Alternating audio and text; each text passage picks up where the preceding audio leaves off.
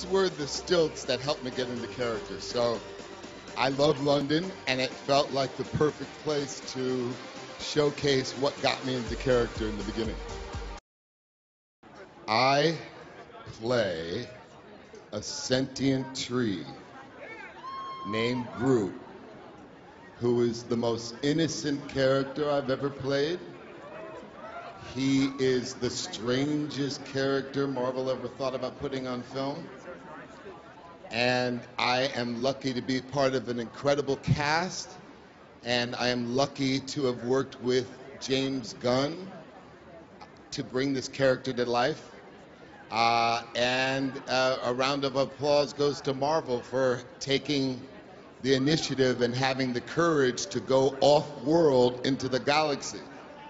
And, and this is going to be one of those movies that you're going to want to see again and again. You're going to want to share with everyone you know.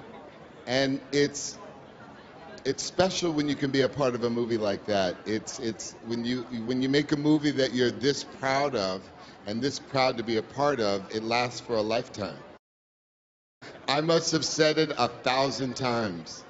Um, I was lucky that my director was so ambitious and wanted to really create a document where not only was I, what, what, did it say I am Groot, but next to every I am Groot, it had a paragraph of what he would be saying if you understood his language.